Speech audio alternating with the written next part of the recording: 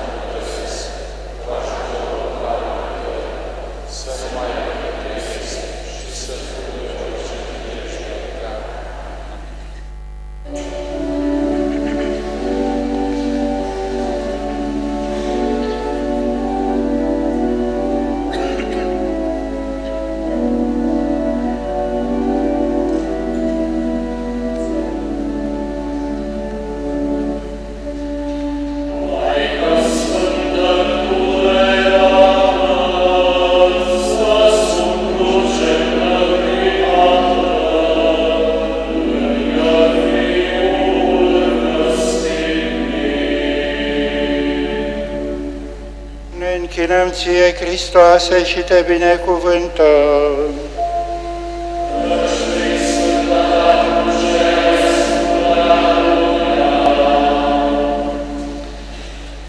Dimineața, sosind toți mai marii poporului, arhierei și bătrânii, îl predară pe Iisus lui Pilat.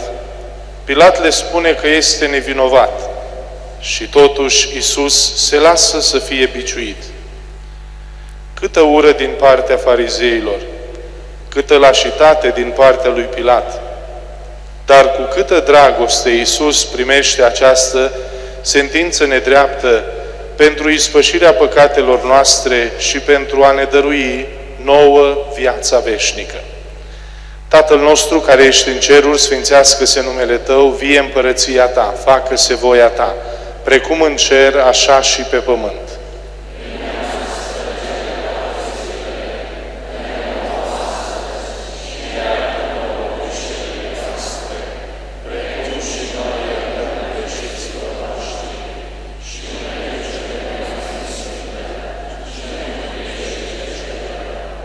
Doamne Iisuse Hristoase, răstignit pe cruce,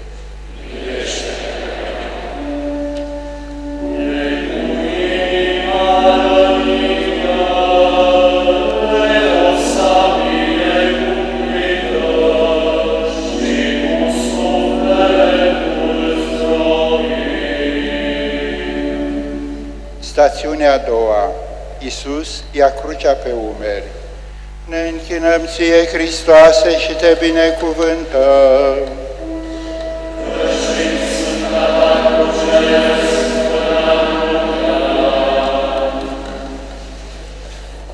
Iată unealta chinurilor lui Isus. îi se aruncă pe umerii săi deja răniți și însângerați. Păcatele lumii și propriile mele păcate fac crucea aceasta atât de grea. Totuși, ea este unealta mântuirii mele. O, Doamne, fă să-mi fie dulce jugul legii Tale, iar păcatul care te-a făcut să suferi atât de mult să-mi fie vrednic de dispreț. Bucură-te, Marie, cea plină de har, Domnul este cu tine, binecuvântată ești tu între femei și binecuvântat este rodul trupului tău, Isus.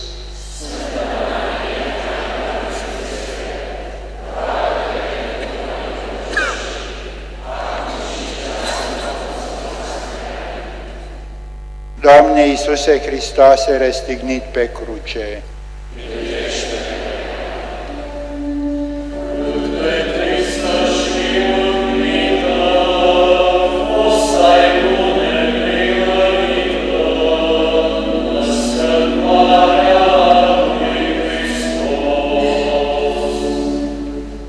Stațiunea a treia. Iisus cade întâia oară sub povara crucii. Ne închinăm ție, Hristoase, și te binecuvântăm.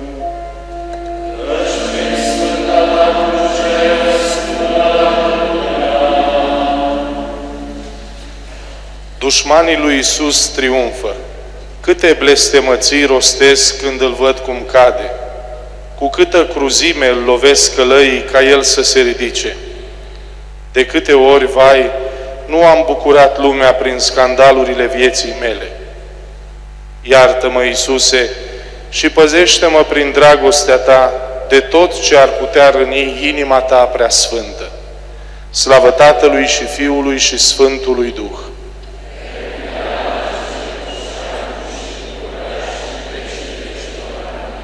Doamne Iisuse Hristoase, răstignit pe cruce,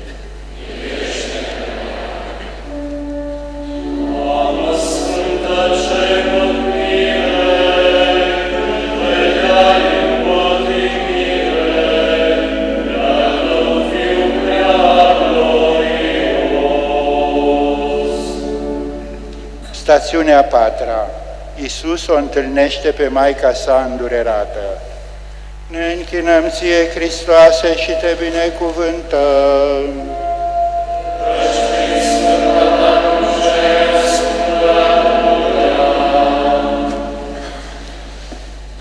Maria îl vede pe fiul ei iubit, acoperit de sânge și epuizat sub povara crucii. Ce strângere de inimă pentru Isus! Ce durere pentru Maria! Dar Isus îi oferă lui Dumnezeu Tatăl suferințele Maicii sale împreună cu ale Lui pentru mântuirea sufletelor noastre. O inimă prea sfântă a lui Isus, inimă prea curată a Mariei, dați-mi curaj și credință ca să știu să sufăr cum se cuvine, din dragoste și pentru mântuirea veșnică a sufletului meu. Bucură-te, Marie, cea plină de har, Domnul este cu tine. Binecuvântată ești tu între femei și binecuvântat este rodul trupului tău, Isus.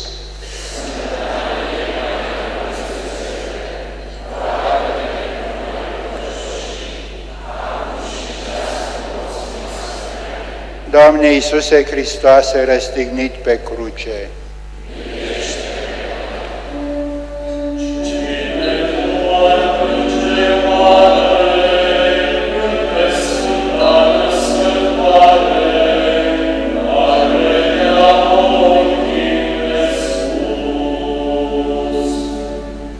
Stațiunea 5 -a. Simon din Cirene îl ajută pe Iisus să-și ducă crucea.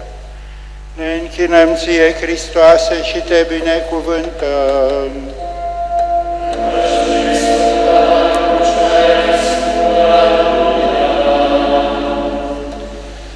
Câți sfinți și câți mucenici aveau să fie chemați pentru a duce astfel crucea Mântuitorului. Copilul meu, zice Iisus, acela care nu consimte să ducă crucea din dragoste pentru mine, nu este vrednic de mine. O, Iisuse, dă-mi harul să duc cu sfințenie crucea ce-ți va place să mi-o dai. Să nu refuz din dragoste către Tine jertfele unei vieți într-adevăr și în întregime creștine. Tatăl nostru care ești în ceruri, sfințească-se numele Tău, vie împărăția Ta, facă-se voia Ta, precum în cer, așa și pe pământ.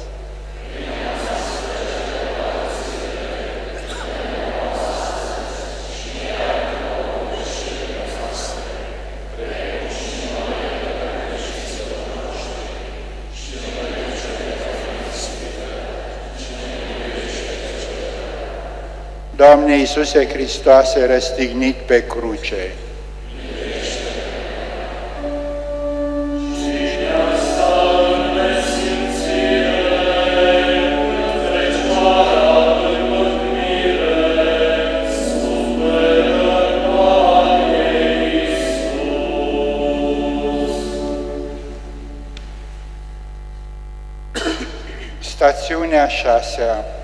Veronica șterge fața lui Isus cu o maramă.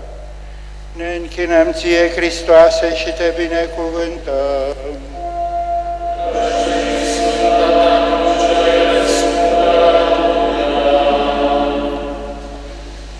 Cu cât curaj această femeie sfidează respectul prea mare de ce vor spune oamenii. Iisus o răsplătește, întipărindu-și chipul feței dumnezeiești pe marama cu care a șters fața adorabilă. O, Iisuse, și eu vreau să te mângâi cu devotamentul meu. Și eu vreau să te slujesc prin evlavia mea.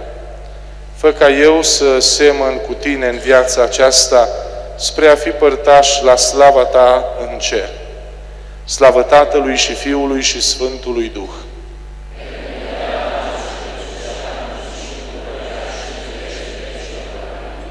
Doamne Iisuse Hristoase, răstignit pe cruce,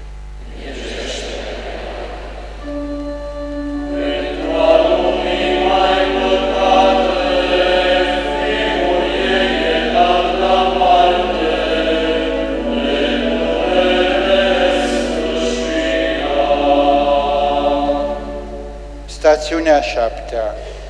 Iisus cade a doua oară sub povara crucii. Ne închinăm ție, Hristoase, și te binecuvântăm.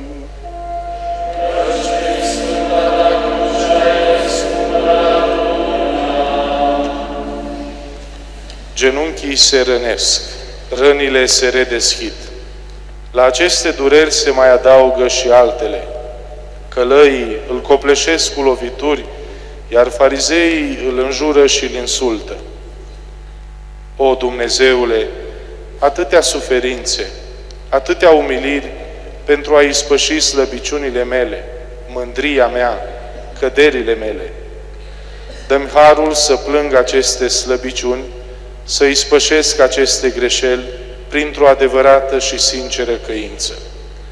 Tatăl nostru care ești în ceruri, sfințească-se numele Tău, vie împărăția Ta, facă-se voia Ta, precum în cer, așa și pe pământ.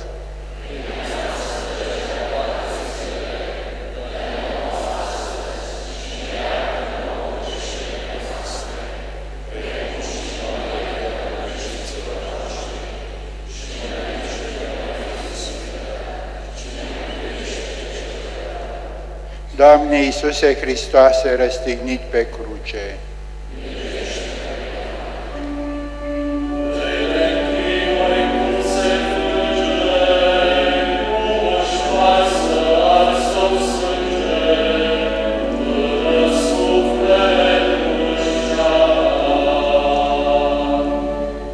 Stațiunea 8 Iisus mângâie femeile care plâng.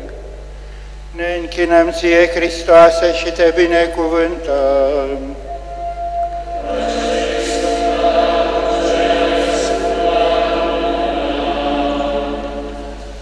Le spune lor cu o mare blândețe, Fiicele Ierusalimului, nu mă plângeți pe mine, ci plângeți-vă pe voi și pe copiii voștri.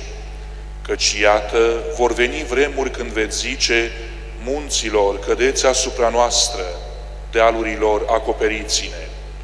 O Dumnezeule răscumpărător, Tu vrei să ne faci să înțelegem că păcatele noastre sunt singura cauză a durerilor Tale. Și dacă noi nu vom plânge aceste păcate, nici patima, nici moartea ta nu vor fi de ajuns pentru mântuirea sufletelor noastre. O Iisuse, fă să avem în inimile noastre o sfântă frică de judecata ta. Dacă dragostea ta nu ar fi de ajuns pentru a ne stoarce lacrimi de pocăință, cel puțin amintirea dreptății tale să ne îndepărteze de pe calea care ne duce la chinurile veșnice ale iadului. Tatăl nostru care ești în ceruri, sfințească-se numele Tău, vie împărăția Ta, facă-se voia Ta, precum în cer, așa și pe pământ.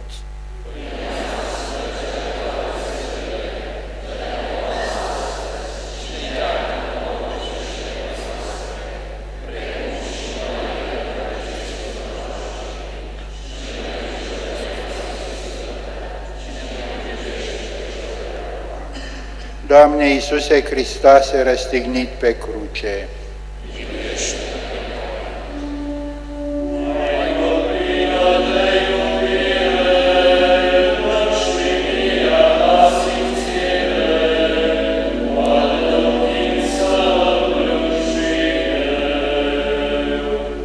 Stațiunea nouă, Iisus cade a treia oară sub povara crucii.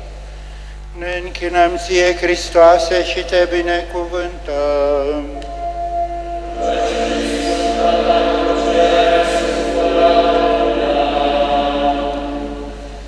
Isus este la capătul puterilor, dar mai ales inima sa e rănită la gândul atâtor suflete care nu vor fi mântuite prin moartea sa. El cade la pământ în agonie, ca și în grădina măslinilor, și oferă această agonie pentru mântuirea sufletelor noastre. O Iisuse, aș putea eu să rezist la atâta dragoste din partea Ta? Nu, eu vreau să jertfesc totul în lumea aceasta spre a nu fi despărțit de Tine în veșnicie. Aș putea fi așa de nerecunoscător, așa de nenorocit, ca să cred încă în păcat, să mai săvârșesc cu bunăvoință și știință un păcat? Nu, nu, o Iisuse, nu. Slavă Tatălui și Fiului și Sfântului Duh!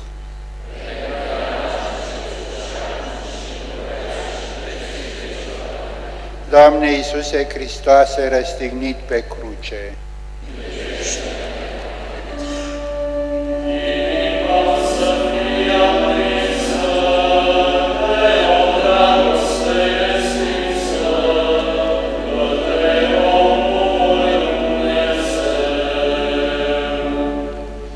Iisus este despuiat de haine. Ne închinăm ție, Hristoase, și te binecuvântăm.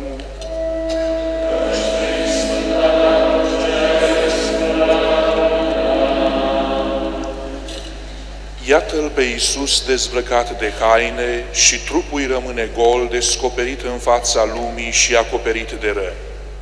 Câtă suferință! Și ce durere simte când îi se smulg hainele cu bucăți din carnea sa. O, Iisuse, la ce te gândeai tu atunci? Fiul meu, mă gândeam la sufletul tău, lăsat pradă patimilor, și am oferit aceste dureri pentru ca tu să ai curajul să te eliberezi de obiceiul nenorocit care te duce la păcat. O, Iisuse, ce dragoste și ce învățătură pentru mine! Da, eu vreau să jertfesc totul în lumea aceasta spre a nu mai fi despărțit de tine în veșnicie. O Iisuse, iartă-ne păcatele, ferește și duce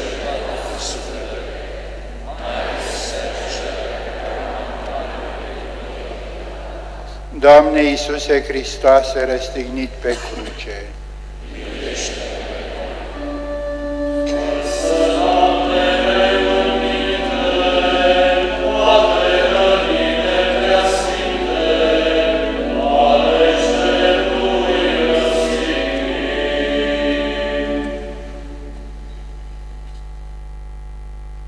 Stațiunea 11 -a.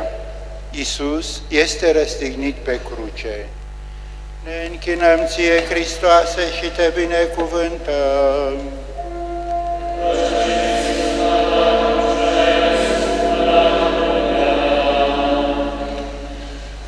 Cât Câte chinuri îndură Iisus din nou, în mâini, în picioare, în trupul întreg. Nu se aude oare trasul loviturilor cu ciocanul? Piroanele străpung mâinile și picioarele lui Isus. Oare nu mâna mea, picioarele mele sunt vinovate pentru aceste piroane? O, Iisuse, fă să am o așa mare dragoste față de Tine, încât nimic, nici lumea, nici eul propriu, nici moartea să nu mă poată despărți de Tine. Tatăl nostru care ești în ceruri, sfințească-se numele Tău, vie împărăția Ta, facă-se voia Ta precum în cer, așa și pe pământ.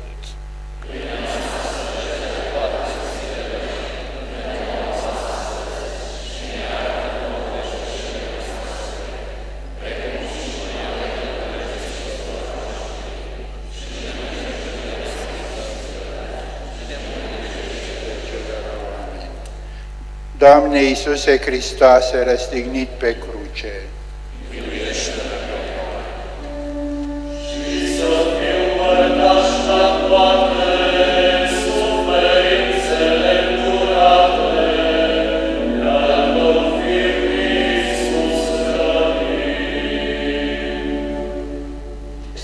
Stațiunea 12-a Iisus moare pe cruce.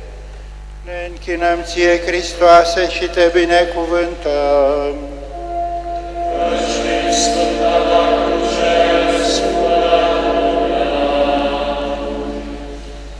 Trei ceasuri atârnă Iisus pe cruce prin rănile mâinilor și ale picioarelor.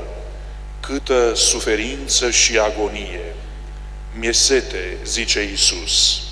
Lui Iisus este sete de mântuirea sufletelor și vede atâtea suflete care se pierd. Tată, iartă-i căci nu știu ce fac. Și Iisus îl iartă pe tâlharul cel bun. Astăzi vei fi cu mine în rai. Totul s-a sfârșit. Iisus moare pe cruce pentru noi.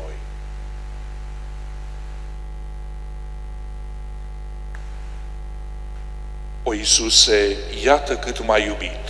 Tu m-ai iubit pe mine, iar eu aș putea, aș mai îndrăzni să te mai supăr vreodată. Cerul se întunecă, stâncile se despică, să fiu eu oare singurul care să rămână nesimțitor la așa priveliște? O, Iisuse, care l-a iertat pe tâlharul ce s-a căit, eu plâng la picioarele tale. Iartă-mă! Iar în ceasul morții aș dori să te aud zicându-mi, astăzi vei fi cu mine în rai. Să nu fiu ca fecioarele nesocotite, fără ulei în candelă, căci degeaba voi striga, Doamne, Doamne, deschide, căci voi primi răspunsul cuvenit din partea mirelui ceresc. Adevăr îți spun, nu te cunosc și va fi vai și amar de mine. O Iisuse, iartă-mă!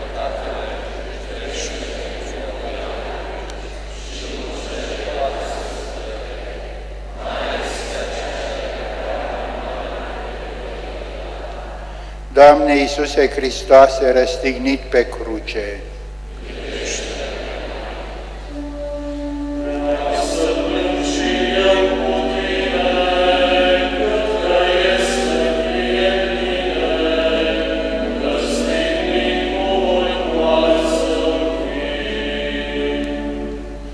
Stațiunea 13-a. Iisus este coborât de pe cruce.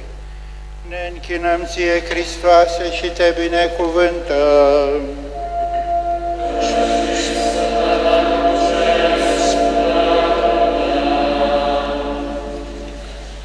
Maria îl primește pe fiul ei iubit în brațele sale.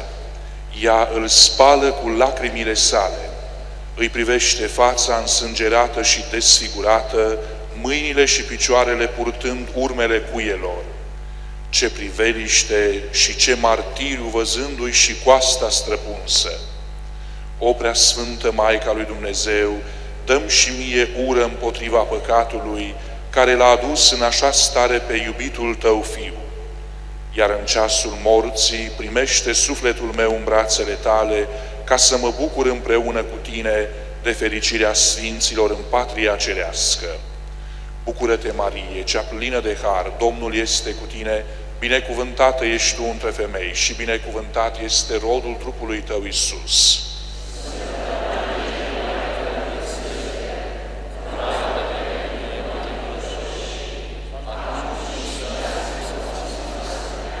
Doamne Iisuse Hristoase, răstignit pe cruce,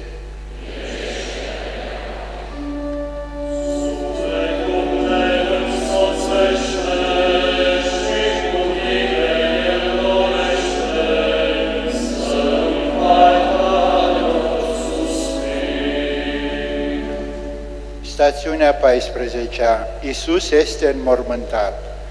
Ne închinăm ție, Hristoase, și te binecuvântăm.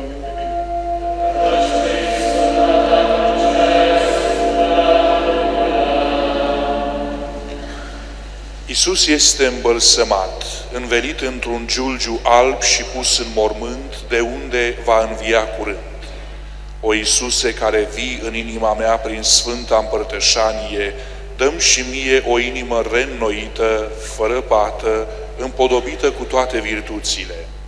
O Iisuse, fi mângâierea mea în timpul vieții, nădejdea mea în ceasul morții, fericirea mea în veșnicie, iar trupul Tău, Dumnezeiesc, să păzească trupul și sufletul meu pentru viața veșnică. Slavă Tatălui și Fiului și Sfântului Duh,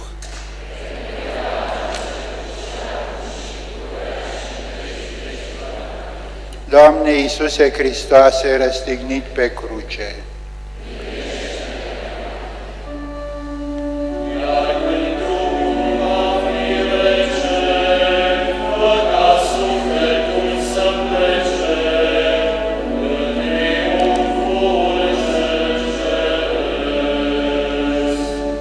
Stațiunea 15-a. Iisus învie glorios din morți.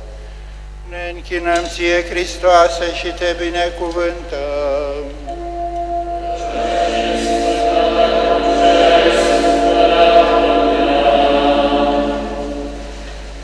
În liniștea mormântului Iisus așteaptă trei zile clipa învierii sale. Pământul primește bobul de grâu care prin moarte dă naștere la o nouă viață. Iisuse, Tu ne-ai spus că cel care se smerește va fi înălțat și că cine își dă viața pentru Tine și pentru Evanghelie, acela o va salva. Ajută-ne să trăim, să suferim și să murim asemenea Ție, astfel încât să înviem pentru viața veșnică împreună cu Tine. Slavă Tatălui și Fiului și Sfântului Duh!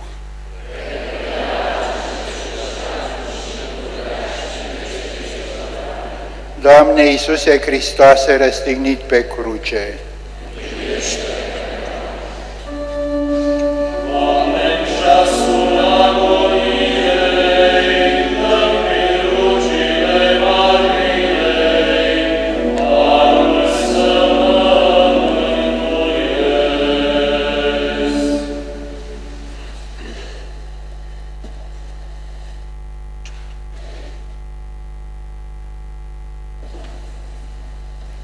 Doamne, Tu ai sfințit semnul crucii prin suferințele și moartea Fiului Tău prea iubit pe lemnul crucii.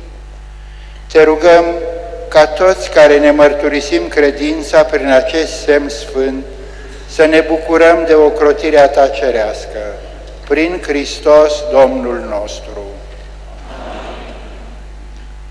Iartă-ne, Doamne, iartă pe poporul Tău și în veci nu te supăra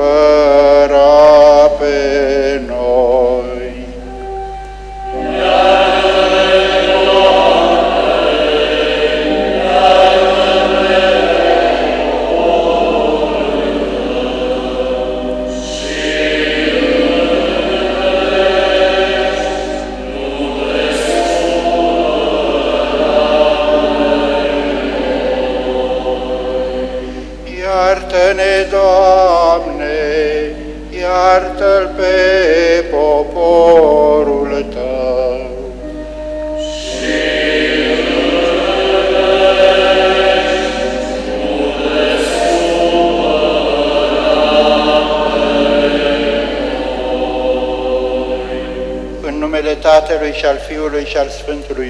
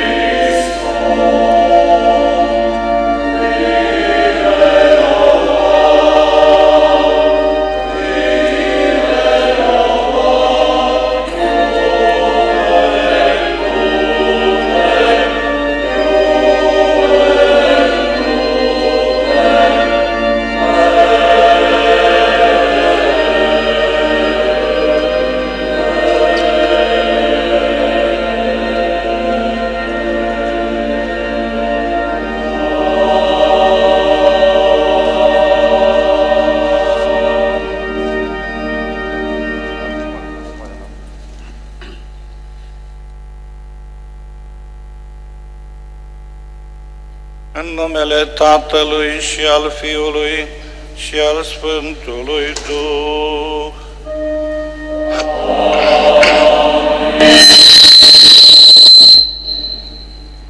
Pacea să fie cu voi.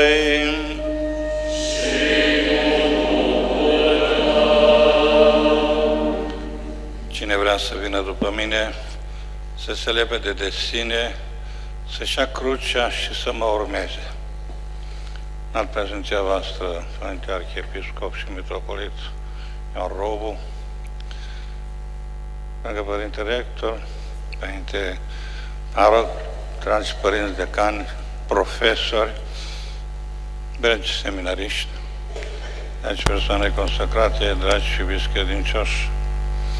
După ce am urmat drumul crucii, meditând iubirea lui Isus față de noi, suntem acum la altarul Lui, de jertfă.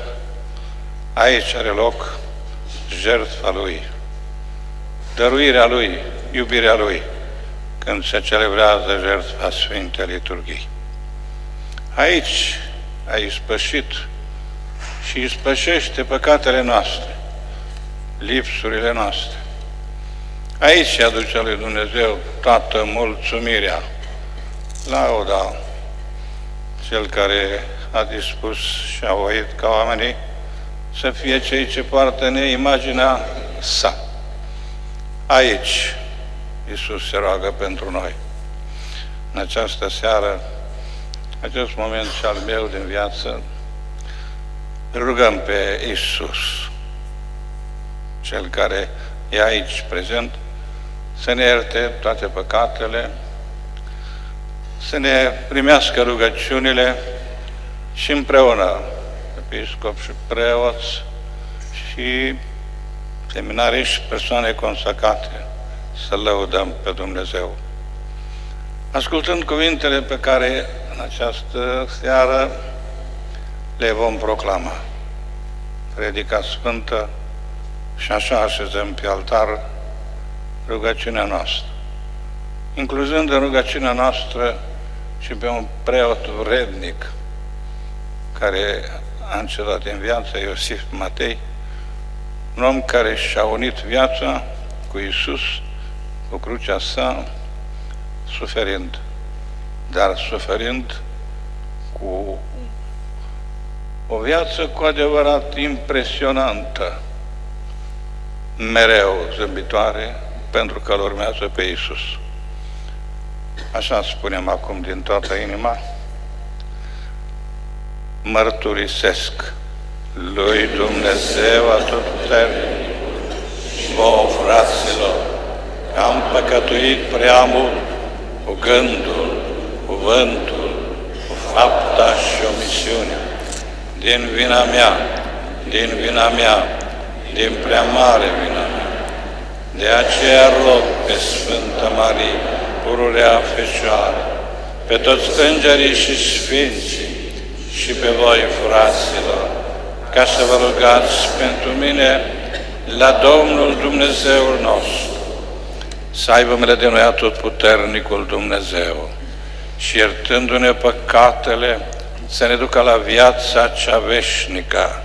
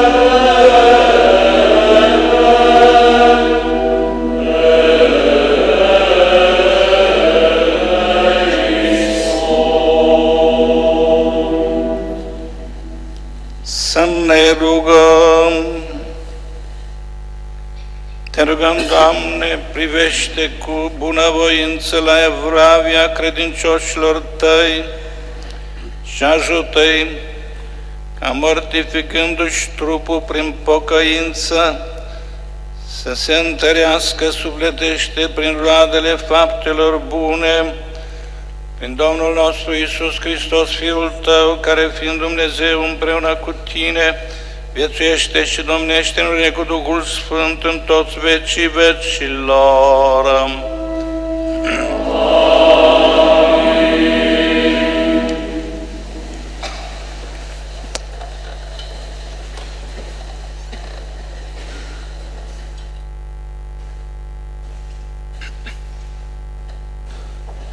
din cartea profetului Iona. În zilele acelea, cuvântul Domnului a fost către Iona a doua oară. Ridică-te, mergi la Ninive, cetatea cea mare, și vestește acolo vestea pe care ți-o spun eu. Iona s-a ridicat și a mers la Ninive după cuvântul Domnului. Ninive era o cetate foarte mare, cât trei zile de mers. Iona a intrat în cetate. Mergând o zi întreagă, striga și zicea, Încă 40 de zile și Ninive va fi distrus. Și au crezut oamenii din Ninive în Dumnezeu.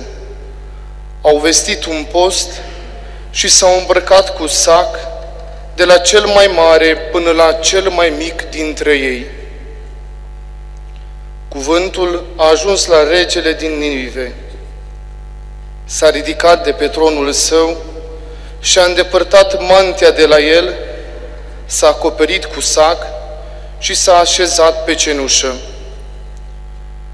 A făcut să se strige și să se zică în Ninive un decret al regiului și al mai marilor lui.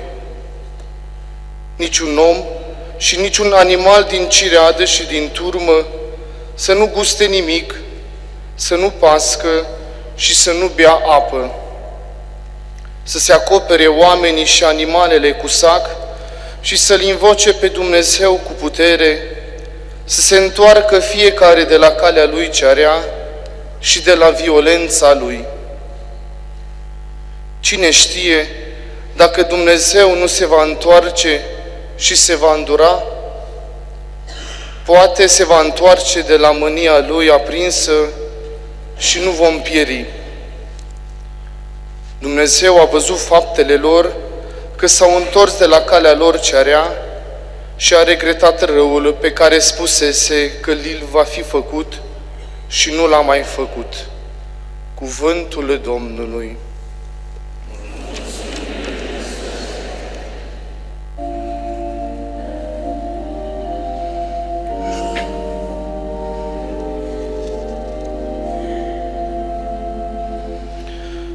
Inima căită și smerită, Dumnezeule nu o disprețui.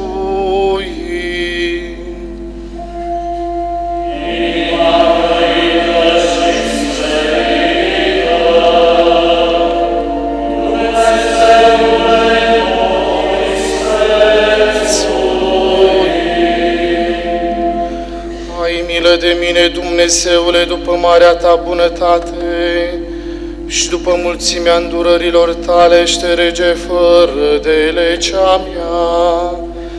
Spală-mă cu desăvârșire de neleciuirea mea și curăță-mă de păcatul meu. Inima și smerită,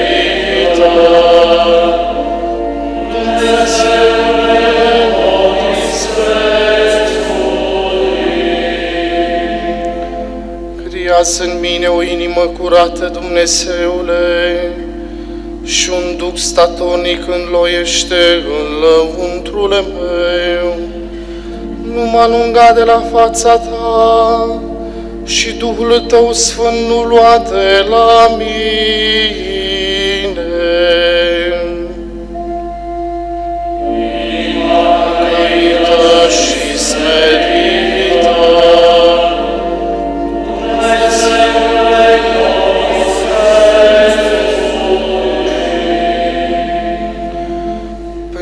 Jertfele nu sunt plăcute și chiar dacă ți-aș aduce arderele de tot nu te-ar mulțumi. Jertfa mea, Dumnezeule, este Duhul smerit, inima căită și smerită, Dumnezeule, nu disprețui.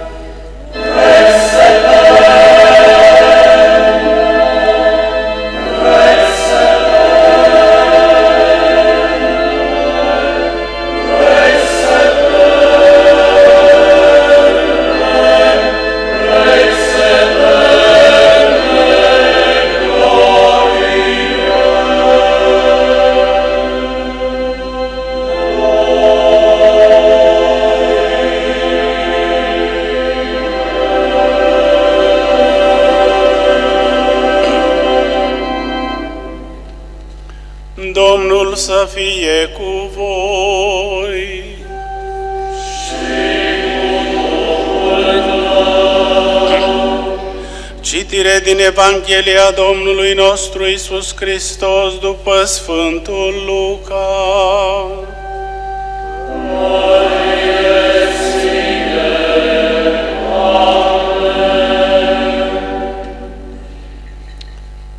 În acel timp, pe când mulțimea se îngrămădea în jurul lui, Iisus a început să le spună, această generație este o generație rea, caută un semn, dar nu îi se va da alt semn decât semnul lui Iona. Căci așa cum Iona a devenit un semn pentru niniviteni, tot așa va fi Fiul omului pentru această generație. Regina din Sud se va ridica la judecată cu oamenii acestei generații și îi va condamna, pentru că ea a venit de la marginile pământului ca să asculte înțelepciunea lui Solomon și iată, aici este unul mai mare decât Solomon. Oamenii din Ninive se vor ridica la judecată cu generația aceasta și o vor condamna pentru că ei s-au convertit la predica lui Iona și iată, aici este unul mai mare decât Iona. Cuvântul Domnului.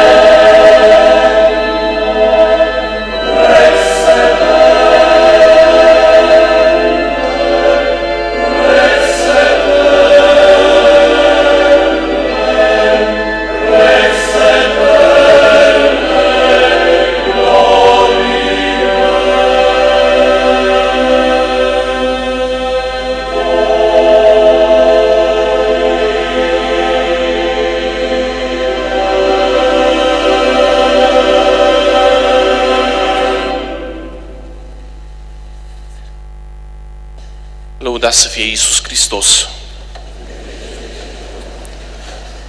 Excelențele voastre, dragi confrați într-o preoție, dragi persoane consacrate, dragi seminariști, dragi copii, dragi tineri, iubiți frați și surori în Hristos, ce-ar fi viața noastră fără semne?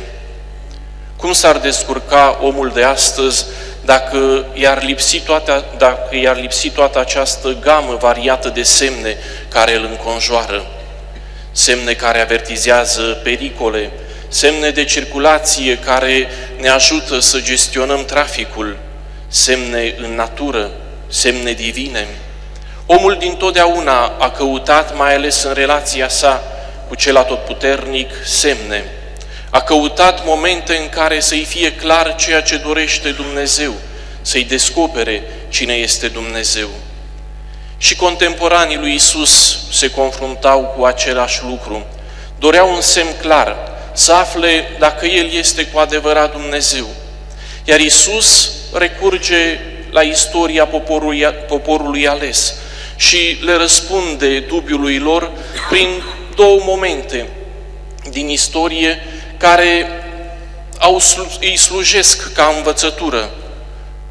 Momente în care păgâni recunosc Harul lui Dumnezeu care lucra prin cei aleși, regina din Saba și ninivitenii care se convertesc la predica lui Iona. Și noi primim zi de zi semne, iar o dimensiune a chemării noastre pe care trebuie să o cultivăm este semnul milostivirii. Fiecare dintre noi trebuie să trăiască în viața sa, în vocația sa, această chemare la a fi semn al milostivirii lui Dumnezeu pentru ceilalți. Pentru că altfel vocația noastră nu va fi niciodată împlinită și viața noastră nu va dobândi niciodată acea dimensiune fericită care să ne ajute să pășim încrezători pe drumul nostru vocațional. Dacă vă amintiți, în urmă cu doi ani eram în plin an al milostivirii. Eram invitați atunci de Papa Francisc să descoperim chipul milostiv al lui Dumnezeu, dar și să trăim milostivirea în viața noastră. Cuvintele Mântuitorului din Evanghelia după Sfântul Luca, fiți milostivi, precum Tatăl vostru este milostiv, au răsunat în urechile noastre.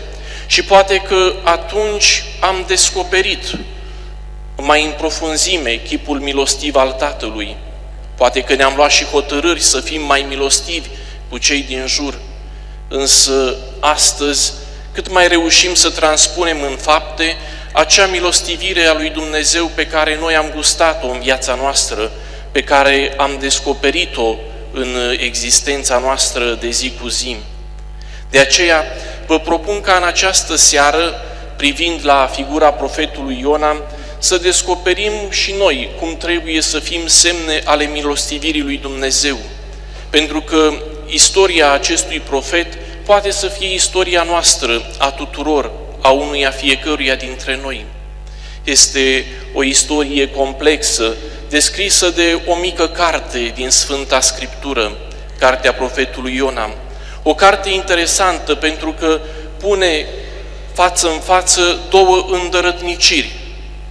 Îndărătnicirea omului care nu dorește să răspundă chemării lui Dumnezeu și să se încreadă în milostivire și îndărătnicirea lui Dumnezeu, care nu renunță niciodată să-L caute pe om și să-L aducă la viața adevărată.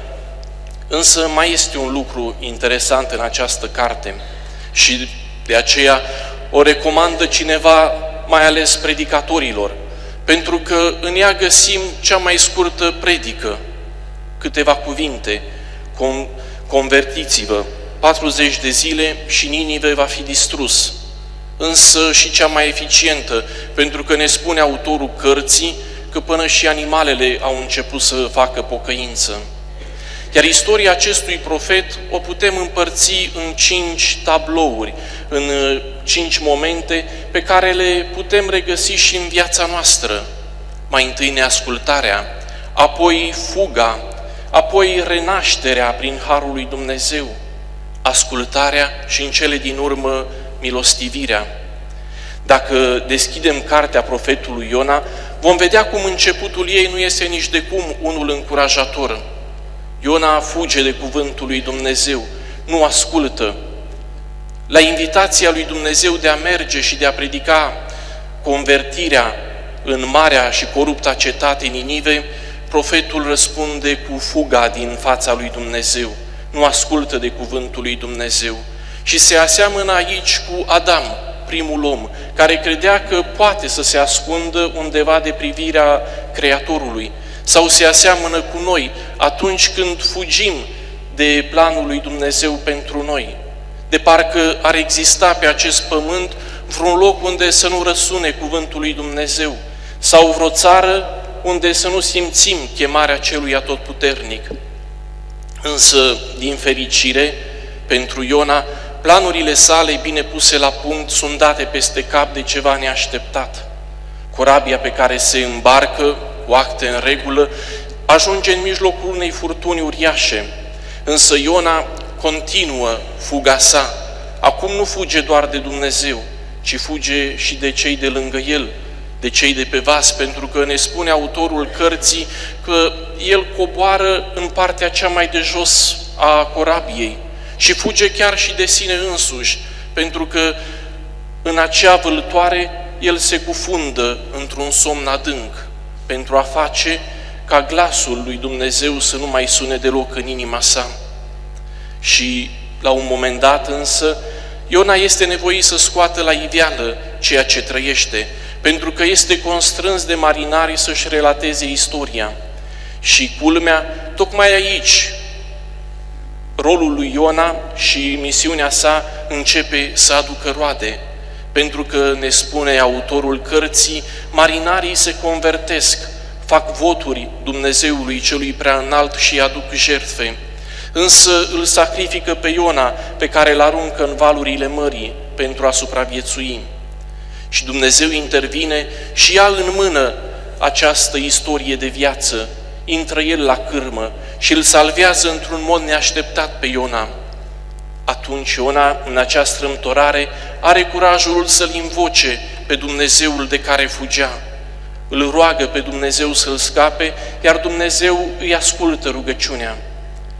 De acum și Iona îl va asculta, pentru că fiecare om trăiește din ascultarea cuvântului lui Dumnezeu. Atunci când ascultăm cuvântul lui Dumnezeu, avem cu adevărat viață. Și Iona începe să-și dea seama de, de acest lucru. Însă mesajul său ajunge imediat la inimile tuturor celor din cetate, din Ninive. Și ne uimesc poate cuvintele regelui din acest oraș care spune, cine știe dacă Dumnezeu se va întoarce și se va îndura, poate că se va întoarce de la mânia lui aprinsă și nu vom pieri. Un păgân își dă seama de milostivirea lui Dumnezeu, conștientizează faptul că Dumnezeu poate să se schimbe, poate să-și schimbe planurile dacă omul se schimbă, dacă omul se convertește. Și suntem în fața unuia dintre momentele cele mai importante ale descoperirii chipului milostiv al lui Dumnezeu din Vechiul Testament, care își îndreaptă fața și spre cei păgâni și spre cei la care nimeni nu se așteaptă. Însă succesul misiunii sale nu, nu i-a adus bucurie în sufletul lui Iona, ci din potrivă, în mintea și în inima lui nu era loc pentru un Dumnezeu atât de bogat în milostivire, un Dumnezeu care iartă tot. Cred că este și pericolul nostru atunci când îl judecăm pe Dumnezeu sau îi judecăm pe semenii noștri care se bucură de milostivirea lui Dumnezeu. Pentru că parcă nu ne convine un Dumnezeu care iartă tot, un Dumnezeu care oferă viață tuturor celor care se întorc la El. Și Iona cade în întristare, se întristează că Dumnezeu i-a iertat. Însă înțelepciunea lui Dumnezeu pune în act o pedagogie deosebită. Mai întâi îl alină pe Iona cu umbra unei plante, pentru că apoi să facă uh, ca această plantă să piară. Și atunci îi arată lui Iona egoismul său. Îi, îi spune, tu plângi după o plantă care într-o zi a crescut și a doua zi s-a uscat, iar mie să nu fie milă de Ninive, de marea cetate, în care sunt peste 120 de mii de oameni care nu fac diferență între stânga și dreapta și, între, și multe animale, este un apel care se adresează astăzi și inimii noastre, vocației noastre. Trebuie să fim conștienți că trebuie să fim semne ale Harului lui Dumnezeu, ale milostivirii sale. Acest apel răsună și pentru noi, drepții de astăzi, pentru că trebuie să conștientizăm că fără umbra Harului lui Dumnezeu, viața noastră a tuturor ar fi imposibilă pe acest pământ. Trebuie să conștientizăm câtă milostivire a umplut viața noastră. Trebuie să conștientizăm mai ales harul pe care Dumnezeu ne-l dăruiește zi de zi și să ne scandalizăm nu atât de milostivirea lui Dumnezeu, cât mai ales de marea diferență care există între milostivirea pe care noi o primim și milostivirea pe care o dăruim celorlalți. Și nu ne vom mai scandaliza de milostivirea lui Dumnezeu dacă vom încerca să fim asemenea lui milostivi, dacă ne vom împlini vocația de a fi milostivi, indiferent de starea de viață pe care am ales-o, viața de familie, viața de preoție, viața de slujire a lui Dumnezeu prin trăirea sfaturilor evanghelice. Vom reuși să nu ne mai scandalizăm de milostivirea lui Dumnezeu dacă vom fi asemenea Lui și vom ierta așa cum iartă El, iartă ca un tată creator care nu șterge cu buretele și uită trecutul nostru, ci își deschide larg inima pentru a ne primi pe noi toți așa cum suntem. Iată misiunea noastră a tuturor, să facem luminos chipul milostiv al lui Dumnezeu și în ziua de astăzi, iar acest lucru ne revine nouă, fiilor săi, fii care trebuie să fie milostivi asemenea Tatălui Ceresc. Cineva povestea istoria sa de convertire și la un moment dat spunea că își amintea cel mai mult din acea zi importantă a vieții sale, momentul în care s-a întâlnit cu preotul la spovadă și spunea această doamnă, era o doamnă care se întorcea la tatăl după 30 de ani de viață accidentată, spunea că îmi amintesc chipul blând al preotului, care după ce a ascultat istoria vieții mele, s-a ridicat, m-a luat de mână și mi-a spus, ce frumos, îți mulțumesc că mai ales tocmai pe mine pentru a te spovedi după 30 de ani. Sunt fericit împreună cu tine. Fiecare dintre noi, prin modul său de a fi, de a trăi milostivirea, îl face simțit sau nu pe Dumnezeu în viața sa. Pentru că spunea Sfântul Ambroziu, acolo unde este milostivire, este Dumnezeu. Însă acolo unde este rigurozitate și răceală, pot fi oameni ai lui Dumnezeu, dar Dumnezeu se face greu simțit. Așadar, în viața noastră, dacă vom trăi milostivirea, îl vom răspândi pe Dumnezeu în jurul nostru. Dacă vom trăi în rigurozitate, Dumnezeu s-ar putea să lipsească. Cel milostiv, fără casă, caută și astăzi o locuință și o caută în viața noastră. Să-i oferim o parte din timpul nostru, să-i oferim o parte din inima noastră, căci doar primindu-L pe El, care este iubirea necondiționată, vom reuși să fim milostivi fără condiție.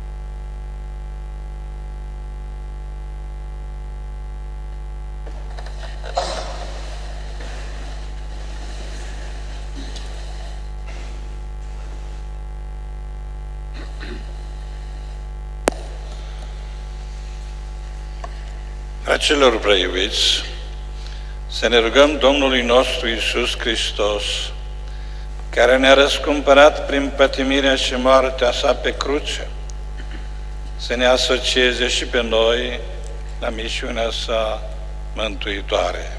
Doamne Iisuse Hristoase, Mielul lui Dumnezeu, care ai asupra ta păcatele lumii, Luminează-i cu razele misterului pascal pe toți membrii bisericii tale. Te rugăm, ascultă-ne!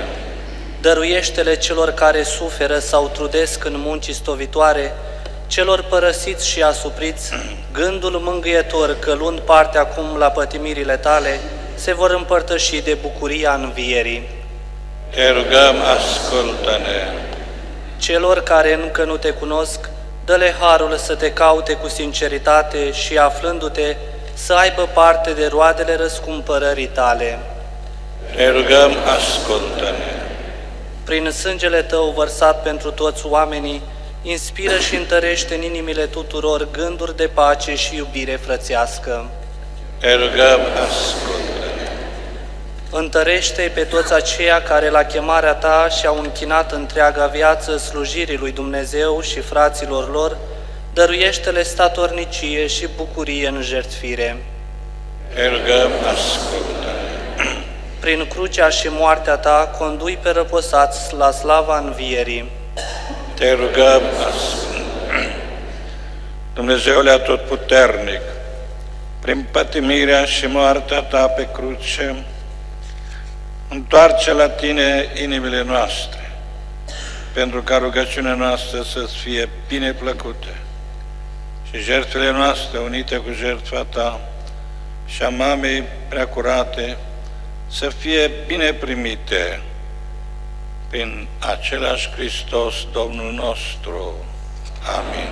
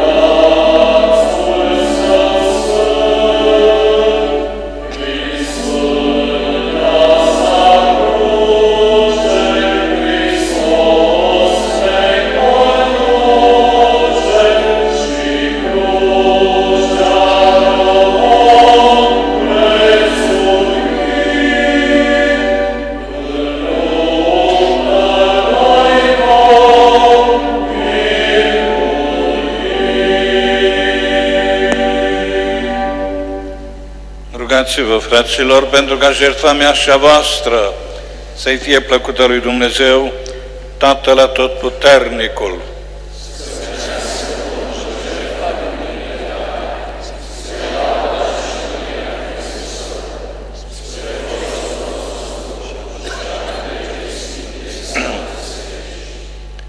Îți oferim, Doamne, darurile pe care Tu însuși ni le-ai dat, ca să le închinăm numelui Tău, te rugăm ca transformându-le pentru noi în sacrament, să ne dai harul de a dobândi prin ele tămăduire veșnică, prin Hristos Domnul nostru.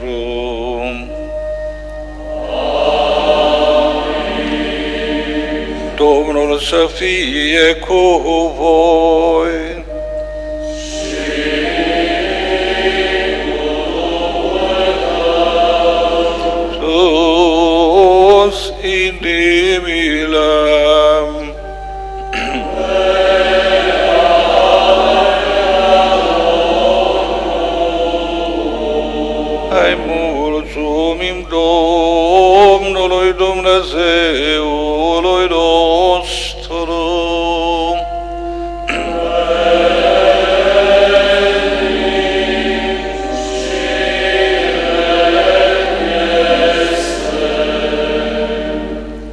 Adevărat vrednic și drept de cuvință și mântuitor lucru este să-ți aducem mulțumiri pururea și în tot locul, ție, Doamne, Părinte Sfânt, atotputernic, veșnic Dumnezeu.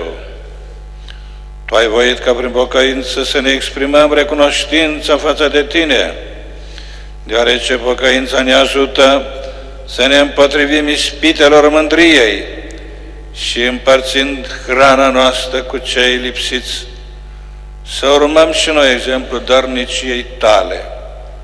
De aceea, cu mulțimile de îngeri, te lăudăm zicând într-un singur glas –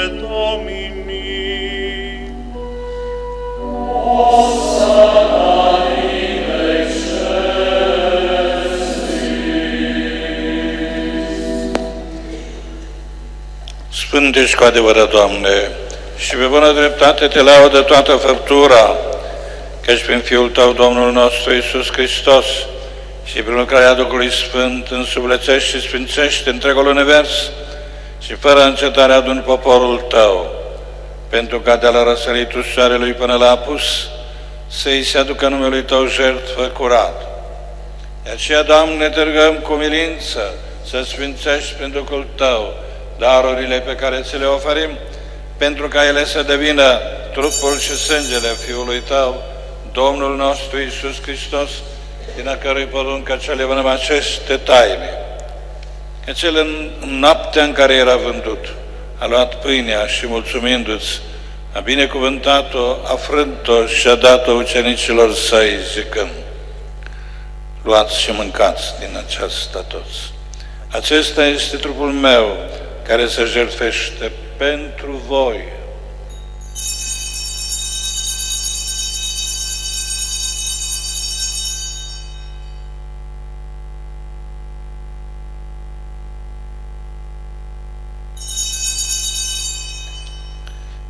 De asemenea, după cină, luând pătirul și mulțumindu-ți, l-a binecuvântat și l-a dat ucenicilor săi, zicând, Luați și beți din acesta toți, acesta este potirul sângelui meu, al noului și veșnicului legământ, care pentru voi și pentru mulți se varsă spre iertarea păcatelor. Faceți aceasta în amintirea mea.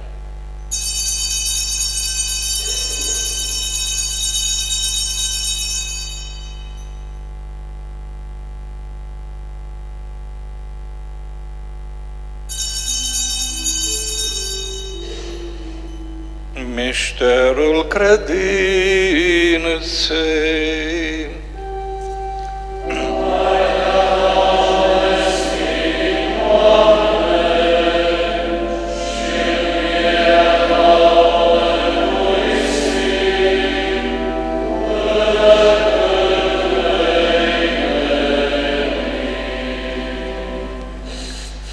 Celebrând așadar, Doamne, pătimirea aducătoare de mântuire a Fiului Tău, precum și minunata lui înviere din mort și înălțare la cer, și așteptând a doua lui venire, să oferim cu mulțumire această jertfă vie și sfântă. Te rugăm, privește cu bunătate la darul bisericii tale și recunoscând în el jertfa prin care ne-ai împăcat cu tine, dă-ne nouă celor care ne hrănim cu trupul și sângele Fiului Tău, Harul, ca din plinătatea Duhului Sfânt să devenim un singur trup și un singur suflet în Hristos. Duhul Sfânt să facă din noi un prinos veșnic, ca să dobândim moștenirea cerească împreună cu aleșii tăi. Mai întâi cu prefericita Fecioară născătoare de Dumnezeu Maria, cu Sfântul Iosif, soțul ei, cu fericiții apostoli și slăviții martiri și cu toți Sfinții, prin a căror mijlocire sperăm să fim întotdeauna ajutați de Tine. Te rugăm, Doamne, ca această jertfă a împăcării noastre să fie spre pacea și mântuirea lumii întregi. Binevoiește a întărie în credință și dragoste biserica ta peregrină pe acest pământ, împreună cu slujitorii tăi, Papa nostru Francisc, cu episcopul nostru Petru, cu arhiepiscopul nostru Ioan, cu episcopul auxiliar Aurel, cu toți episcopii, cu întregul cler și cu tot poporul pe care ți l-a dobândit Fiul tău. Ascultă, Doamne, cu îndurare rugăciunile acestei familii pe care ai adunat-o în fața Ta. Întoarce-i la Tine, Părinte milostiv, și pe toți fiii Tăi risipiți pretutindeni. Pe frații noștri răposați și pe toți drepții care au trecut din această lume, primește-i cu bunătate în împărăția Ta cerească, unde nădăjduim să ne bucurăm și noi de apururi de mărirea Ta împreună cu ei, prin Hristos Domnul nostru, prin care Tu dăruiești lumii tot binele. Prin Hristos, cu Hristos și în Hristos, Ție, Dumnezeule, Tată tot puternic, în unire cu Duhul Sfânt, toată cinstea și mărirea în toți vecii vecilor.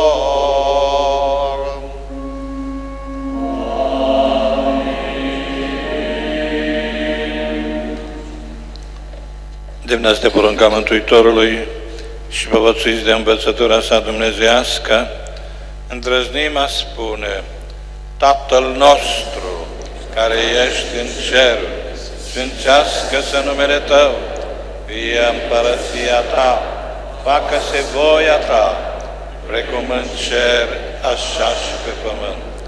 Pâinea noastră, cea de toate zilele, dă-ne nouă astăzi și ne iartă nouă greșelile noastre, precum și noi iertăm greșiților noștri. Și nu ne duce pe noi în ispită, ci ne mântuiește de cel rău. Mântuiește-ne, te rugăm, Doamne, de toate relele și binevoiește da pacea în zilele noastre, pentru că ajutați de milostivirea Ta, să fim pururea liberi de păcat și feriți de orice tulburare, așteptând speranța fericită și venirea Mântuitorului nostru Isus Hristos.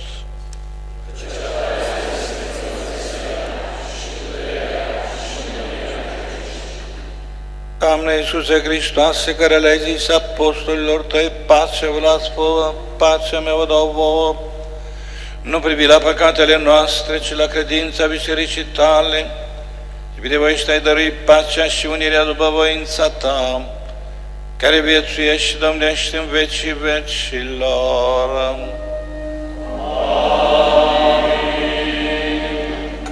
Pacea Domnului să fie pururea cu voi.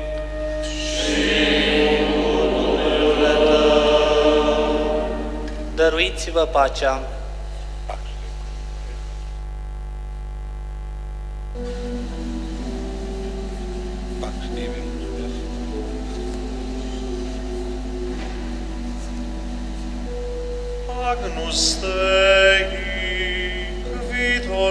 pecadam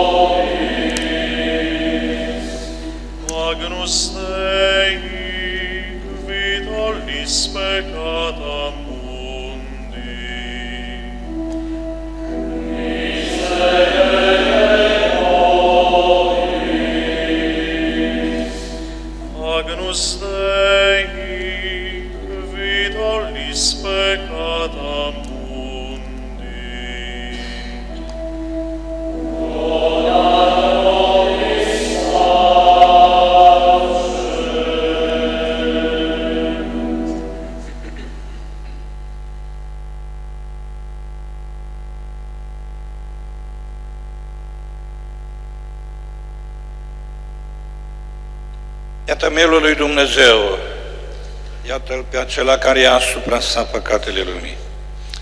Rămâi cu noi, Doamne, rămâi mereu cu noi. Doamne, nu sunt vrednic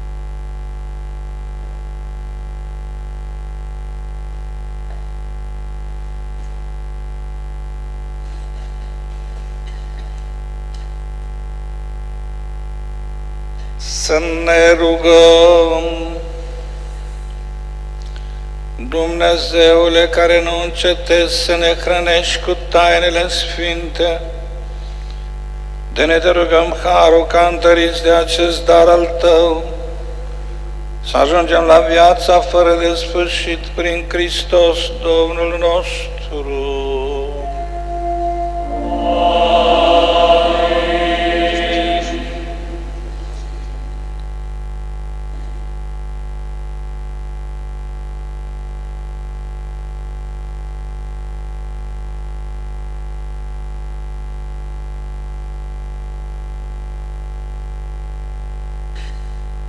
Lăudați să fie Iisus Hristos!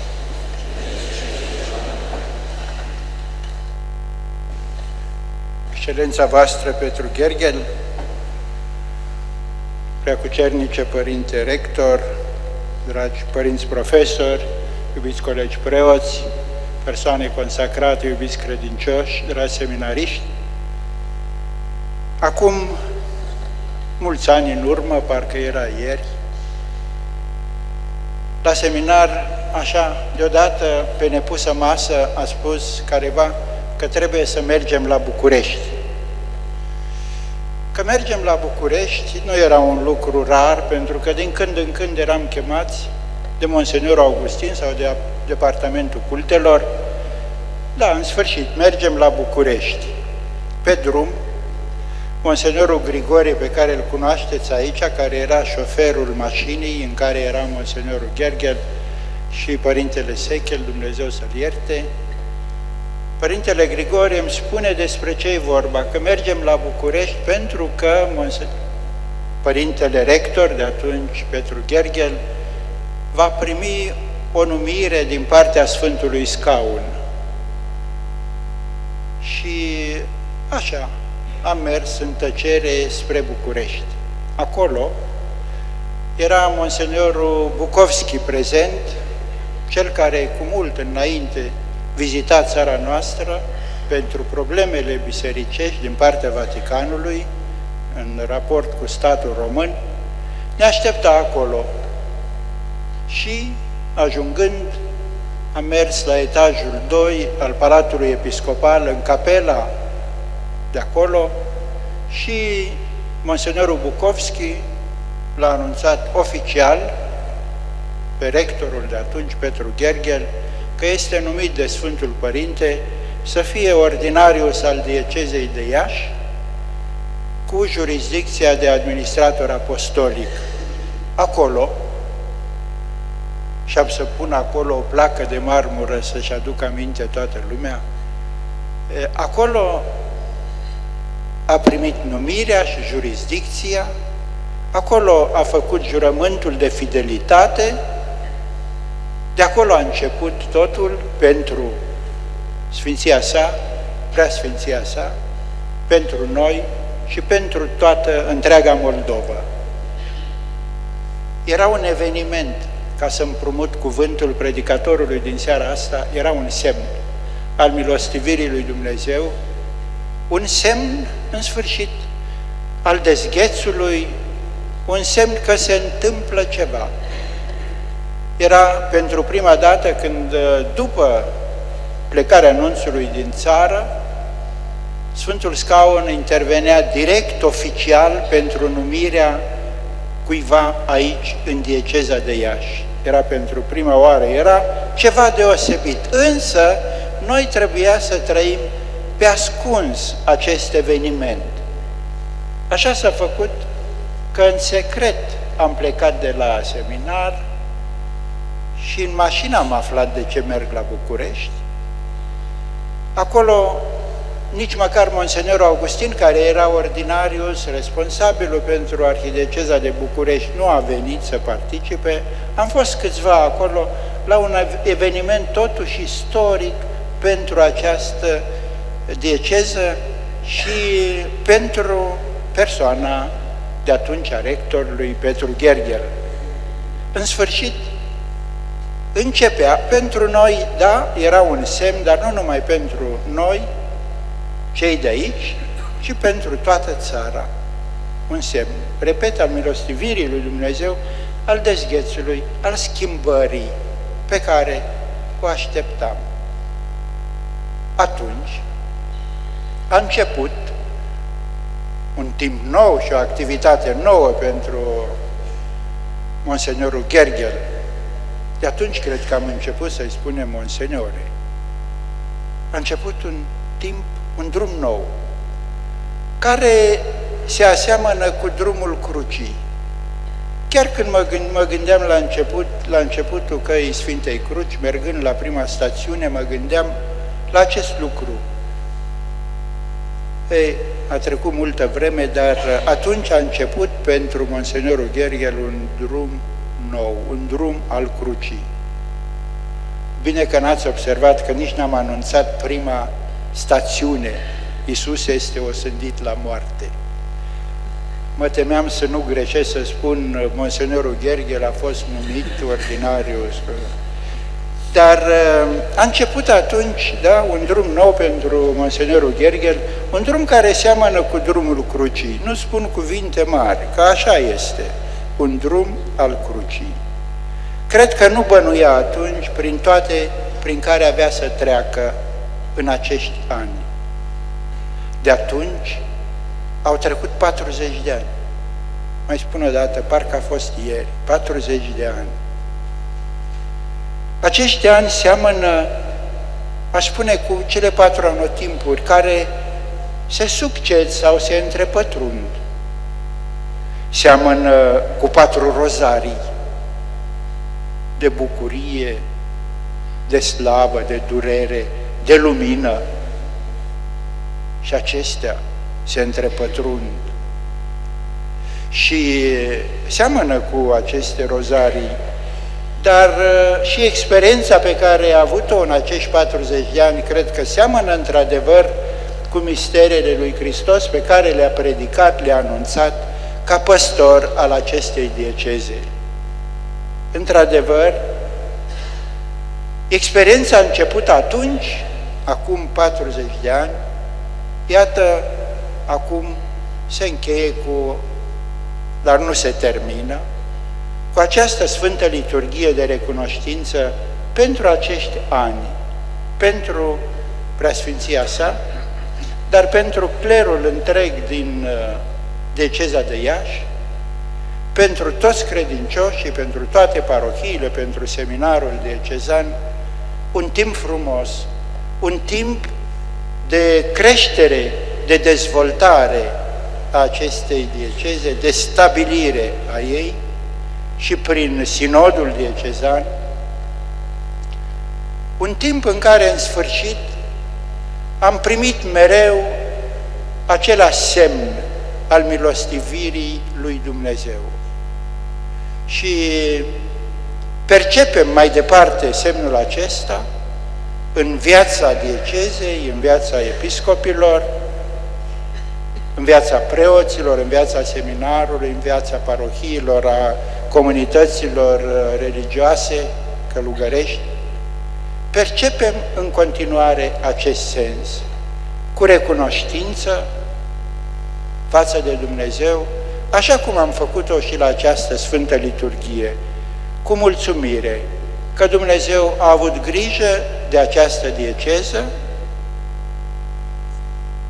că i-a dat un păstor, ba păstori, că este și Monsenior Aurel, i-a dat putere de creștere și sperăm ca această putere să rămână și să meargă mai departe împreună cu Monseniorul Petru Gergel, cu Monseniorul Aurel, în numele meu, al Episcopului Auxiliar de București Cornel, Episcopului Cornel Aurel, episcop auxiliar de Iași, în numele preoților de la seminarea rectorului, a tuturor preoților, persoanelor consacrate al vostru, al seminariștilor, îi spun preasfințitului Gherghel din toată inima, mulți ani înainte, cât a vrea Sfântul Scaun ca episcop și cât a vrea Dumnezeu ca an de viață.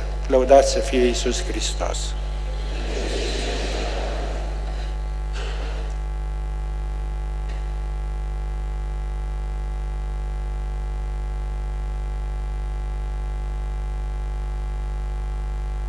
Nu știam că preasfințitul mă provoacă și iată că cu adevărat eu știam că spune un cuvânt și a spus și multe taine din acea perioadă.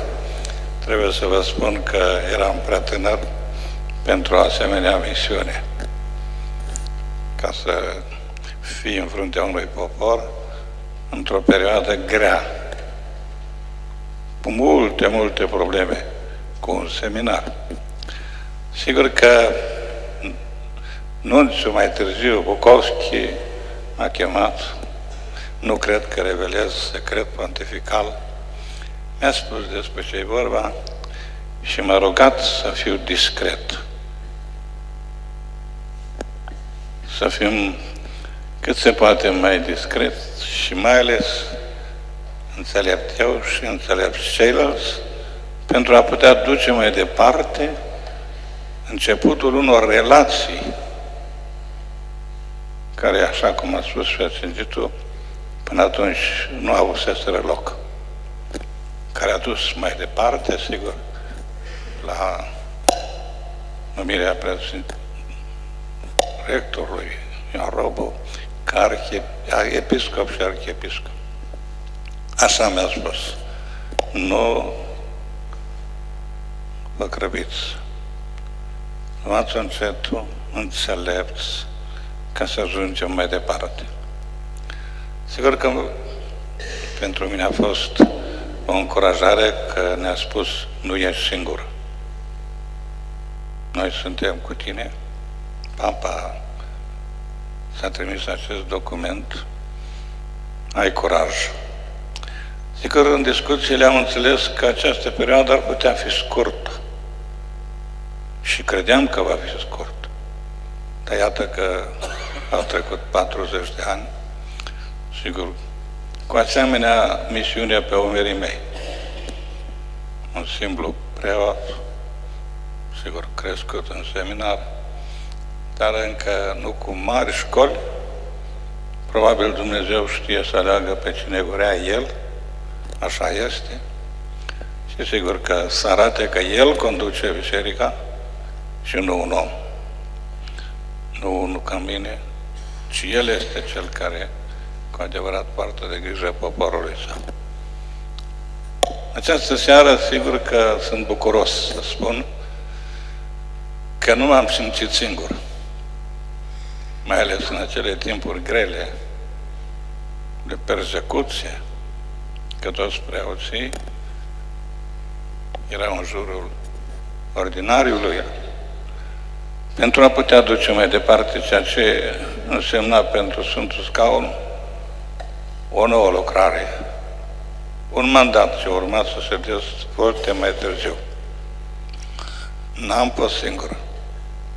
Am simțit alăturea pe toți preoții noștri. Și mai ales preoți curajoși, care sigur că s-au ridicat din seminarul nostru și au fost în mijlocul poporului păstori care au știut să poarte mai departe moștenirea primită. N-am fost singur, biserica nu informată dintr-un episcop, ci informată din întregul popor al lui Dumnezeu. Episcopul nu e singur, e cu întregul cler și cu întregul popor. De aceea, în seara aceasta, sigur că făcând și calea crucii, pentru a exprima că într-adevăr a fost un drum cu multe cereri, am spus că și pentru lipsuri trebuie să le unim cu crucea lui Isus și astfel să le oferim Tatălui. Și Sfânta Liturghie din această seară a avut acest scop, sigur, în timpul postului, dar cu multă, multă convingere că ceea ce facem noi trebuie să se asocieze la ceea ce a făcut și face Hristos. Sigur, așa spunea Apostolul Paul și spune că trebuie să oferim și noi jertfele și crucea noastră pentru a suplini cele împliniri sau nereuși, ajuns care mai sunt în această misiune și pătimirea lui Hristos. Toți suntem invitați să aducem ceva, fiecare la locul său. În această seară, după cererea de iertare pentru toate lipsurile, aduc mulțumire lui Dumnezeu și tuturor celor care acum sunt aici de față sau în întreaga dieceză, care se roagă pentru ca Dumnezeu să binecuvânteze poporul nostru și sigur să-și reverse mai departe milostivirea sa asupra mea și asupra întregii biserici. Încă o dată spun, am avut alături pe toți din seminar, din parochii și nu numai preoți, ci și seminariști și credincioși și așa am împlinit misiunea pe care eu am ajuns-o acum aici. Rămânând mereu dispus, ca ce va spune Sfântul Scaun, să împlinesc. Sigur că vă mulțumesc dumneavoastră care ați participat la această liturghie și vă doresc să aveți mereu împliniri în această slujire a lui Dumnezeu.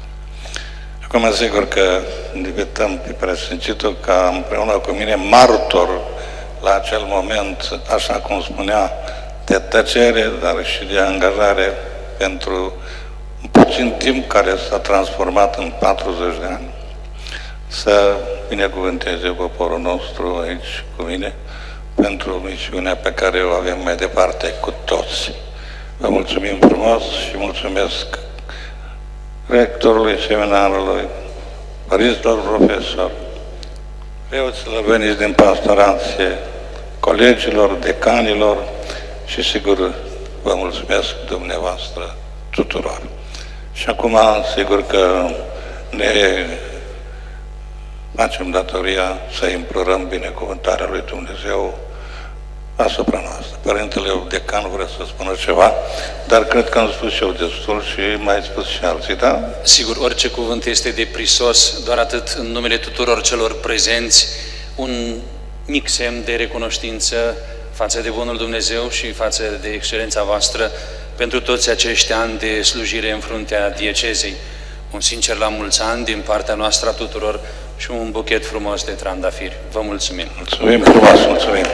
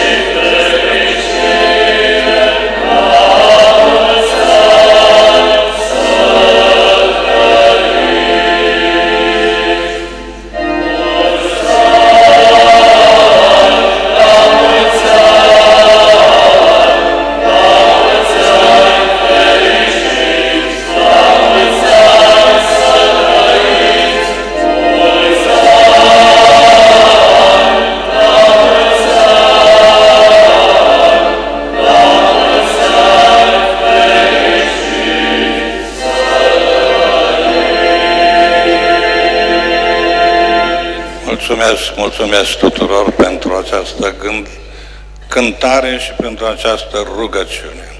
Ne plecăm fruntea pentru a primi binecuvântarea cu care ne întoarcem acasă să dăm mărturie despre trecutul nostru și despre moștenirea noastră. Domnul să fie cu voi!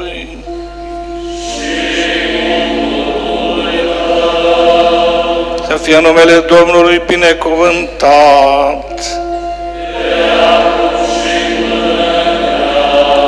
Ajutorul nostru este în numele Domnului.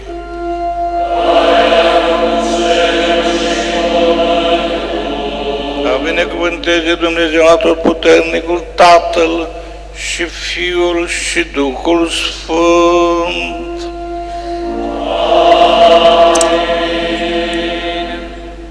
Liturghia s-a sfârșit, mergeți în pace.